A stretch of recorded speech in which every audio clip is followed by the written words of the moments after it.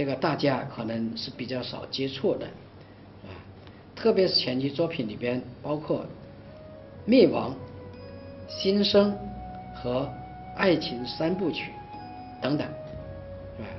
这些小说啊，有一个共同的题材，共同的风格，他写的人物呢都是非常敏感、热情，甚至是病态的，又是富有理想、反抗现实。追求变革的，不是很真实，但是能够和青年读者呢情绪上产生沟通。他的文体呢体式呢也非常特别，很随意，所以年轻人喜欢。一九二七年三月，他开始写《灭亡》，这期间呢有一件事给他很大的刺激，就有一个意大利的疑贩子，就卖鱼的。叫樊载地啊，是一个无政府主义者。巴金呢是把他看成是老师了，无私啊。当时呢被美国当局啊这个当作抢劫杀人犯给抓起来了。结果呢就是那个行刑，这个在波士顿呢这个查理斯监狱、查理斯顿监狱上呢用电椅把他电死。巴金知道这些消息以后非常激愤，是吧？就要在小说里面来宣泄。巴金呢就是这样不自觉地走上这个文坛。灭亡跟这个事是有关系的。一九二九年写的《灭亡》，艺术上很粗糙，人物是不真实的，但是在小说里面充充斥着的那种反抗的情绪，非常有煽动性。能够打动当时的青年读者，里边的主要人物啊，几乎都是殉道者，愤世嫉俗，性格呢很暴躁激烈，几乎都是个人英雄主义，所以跟左翼作品里面的英雄啊是不太相同的。当时左翼作家笔下那些英雄都是缺少个性，都是一种集体形象的化身，是吧？但是巴金的笔下的人物呢，呃，不太一样，所以他这个小说里面写到有一个人物叫杜大新，就是一个殉道者。巴金对他是惋惜的，又是赞美的。这个主人公啊，就是得了严重的肺结核，但是呢，还忍住极大的痛苦，参加反抗专制主义的那种这个斗争啊。说灭亡里面的主人公，呃，这个那种强烈的社会付出心理，啊，给人家印象是很深的，给人家印象很深。而且杜大新这个人物呢，这个他的内心苦闷、烦躁，要发出控诉和诅咒。他呢也写到了他的恋爱，他遇到了一个少女叫李静书，他也爱上了这个李。但是他自责，为什么自责呢？他觉得自己没有权利恋爱，不应该把精力分到男女的情爱上。就他对个人的前途，包括自己的身体，都已经失去希望了。同时，对那种环境、对黑暗的社会、对人人类的前途，甚至也是感到绝望了。所以他要拿工作、拿争论来压抑自己。来残害自己的身体，是这样一个写这样一个人物，是吧？里面有一句话，就甘愿消耗生命以殉事业来取得良心的安宁。所以他这个最后啊，这个人物啊，疯狂的报复啊，这个当刺客，结果呢被抓起来砍头了，脑袋给悬挂在这个大庭广众之中示众啊。小说中那种浪漫激情。跟悲剧啊交织在一块，宣泄了一种对这个现实社会那种节节的反抗的情绪啊，所以灭亡啊，就是写这种有点义无反顾的那种社会的复仇啊，多少有点好像恐怖行为似的啊。这些人物，但是有一个对当时读者来说呢很感人，就是他的正义感。还有他的献身的精神，但是狂热、盲目、带有病态，啊，而且这个小说啊，你看它的背景是很模糊的，好像不是在中国发生，又是在中国发生，是吧？这是他参照了俄国的民粹派那种形象，也可以说是中国化，这个俄国民粹派形象的中国化。当时啊，有一个俄国的小说叫《沙林》，也是呃这个宣扬无政府主义的，也是概念化的，但是发行发行量很很大，很能够这个吸引当时的读者。这个五四以来啊，新文学大都充溢着一种感伤的情调，很少英雄的那种气象，所以巴金他的灭亡啊，终于让读者有了自己的所谓的英雄。尽管这个英雄是带病态的，是在暗夜里面绝望的叫喊的这样一个英雄，是吧？毕竟这个有有点英雄气概。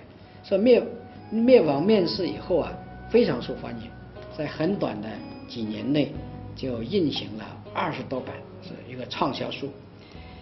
那么一九二八年十二月，巴金回到上海，还是要热心于无政府主义。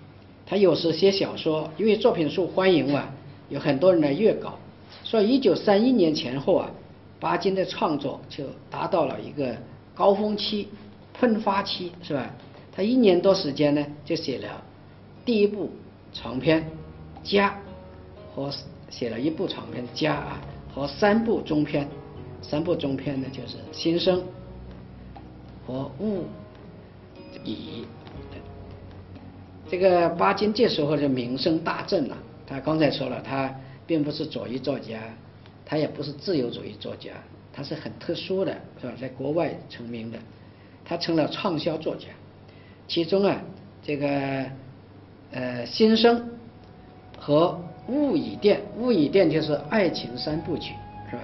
对，三部曲也是和《灭亡》一样啊，都是带一种激愤的状态。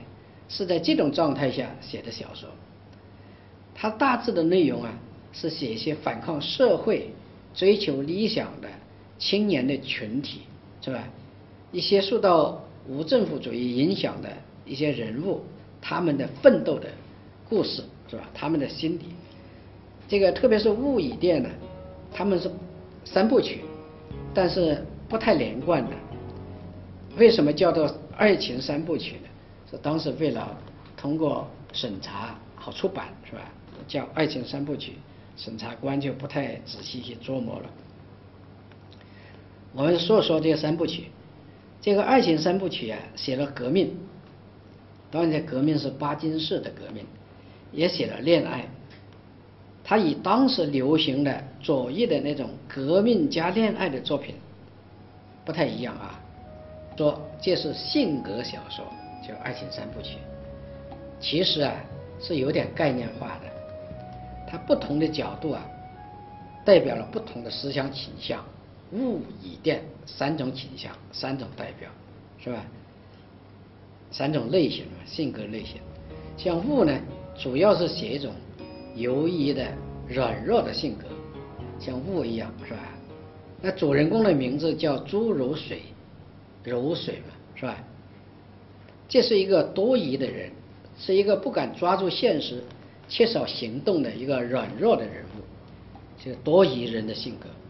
小说呢也写到他对革命、对爱情那种态度，表现呢都是优柔寡断的，是吧？比如说这个朱如水啊，热烈的爱一个女友叫张若兰，也是一个。这个反叛的勇敢的女性啊，叫斯拉夫女性，带有这个特点，新新新的女子吧。但真的爱情降临了，这个这个朱如水呢，又是惶惑的、自责的、不敢结束的。他这个面对这个所有问题都是这样柔柔寡断，是吧？结果他失去了爱，这种性格呢，就让他永远失去一切，不善于行动，就变成多疑的人了。当然，这个跟朱如水相对称的，也有另外一个理想的人物，叫陈真啊，多少多少有作者自己的这个影子，但也是概念化的人物，就是把一切都牺牲，不顾家庭，是吧？不顾刺激，啊，全部献身革命啊。他得了肺病，还是没没日没夜的工作啊，来损耗自己，来这个投身于社会革命的事业啊。他认为自己没有权利恋爱，这个要从事革命。他这个革命呢，也是跟当时革命小说里面写的革命不太一样，多少带有一点恐怖的色彩，是吧？暗杀啦、爆炸啦，民粹主义的风影响。这个物里面就写这样的一个人物啊，对照起来。那么乙呢，更充满了一种阴郁的气氛。这里呢，爱情描写的场景呢比较大一些，人物也比较生动一点。其中有个人叫吴仁民，他也是病态的性格，他刻画的比较真实，有一点生活的实感，是吧？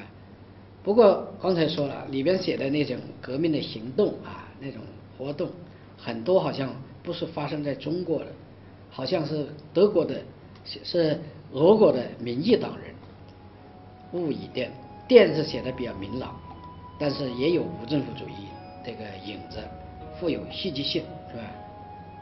呃，这个作品呢，都是写人物的信仰，写他们的斗争，写他们的悲剧的命运啊。三部曲的水平。这个爱情三部曲水平是不高的，说实在话，但是为什么影响那么大？它也不是共产党所宣传的革命的文学，它为什么影响那么大？主要就是沟通，是吧？也带有一点抒情性、鼓动性，赢得了读者。它贯彻的那种绝望、挣扎、悲剧性，是吧？那，争斗争。等等，都是巴西巴金呢，说信仰无政府主义那种心态的反反应啊，他借这个来转化来宣泄。所以《爱情三部曲》是不成功啊，不太成功或者说，但它显示了巴金创作的风格的一个基调。这个基调是什么？描写青春的美丽，青春的毁灭，青春的追求。写的都是青春，这是格外能够吸引青年人的，是吧？他呢灌注激情，他用抒情的调子来描述人物的命运，他注重写心灵，特别是通过青年所关注的爱情来揭示这个心灵。这个我们知道，恋爱在恋爱中啊，一个人的素质，这个呃表现往往是更。突出啊，这个第二个，他的作品写的都是多疑的人，都既有一种像莎士比亚笔下的哈姆莱特的那种气质，就优柔寡断啊。里边像刚才说的杜大仙、吴仁民的等等，都是有这个气质，也可能受到了俄国作家屠格涅夫的影响，多疑的人是吧？另外呢，人物的心理状态和民族的心理这个有距离，像他那个人物那种愤世嫉俗，是吧？很多这个作品里面的人物呢，开口闭口是恨这个恨那个啊，不像是一个中国的呃革命者，他背景也不确定，就明显的借鉴了外国的一些创作啊。巴金在《爱情三部曲》里面写到的各种不同类型的青年呢，为什么受欢迎？因为当时的年轻人从中读出了他们这一代人的心境，在思考不同的生活道路。说尽管这作品比较粗糙，但它很有鼓动性啊，很能够沟通。这是前期作品了，里面充满那种渴望。变革的那种亢奋的、焦灼的激情，虽然构思的故事呢不实在啊，模仿外国革命党传奇的痕迹，但它里边那种火一般的艺术的情景，非常容易引起引起当时青年的那种共鸣。这是前期小说，我们也讲到了它一个基本的特色。这时候奠定了他创作的基调，是吧？写青春，那种反抗复仇，是吧？等等，呃，对我们对这个巴金呢，呃，这个创作基调的形成有个初步的了解。下面呢，我们讲第三个问题，也是这次课的重点，就是大家来鉴赏分析巴金的家。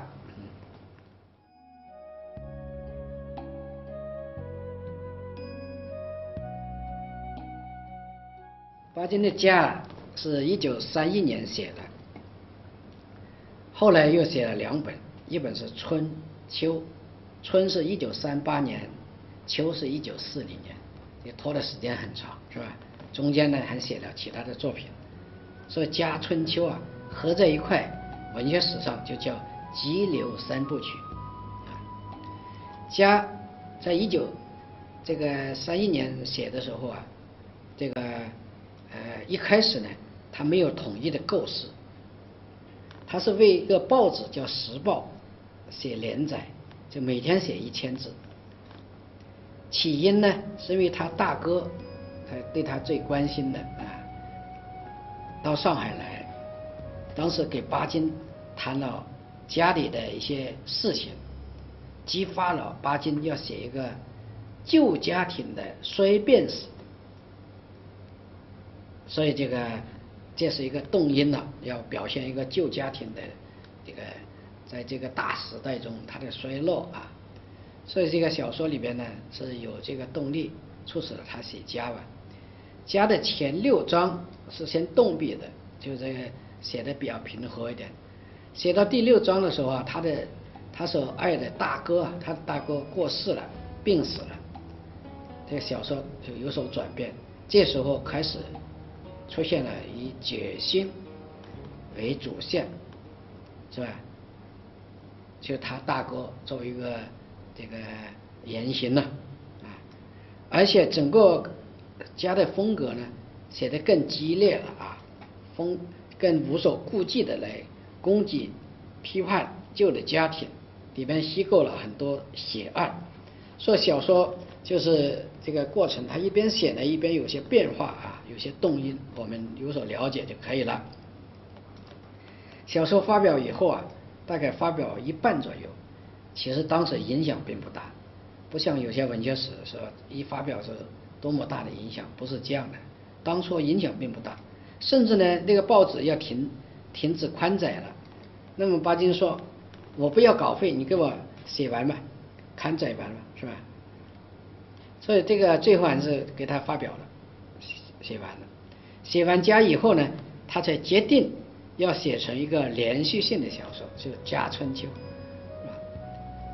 是这样的一个过程。有人说啊，家是一个家族小说，《家春秋》啊，家族小说是写一个封建大家庭走向崩溃的故事。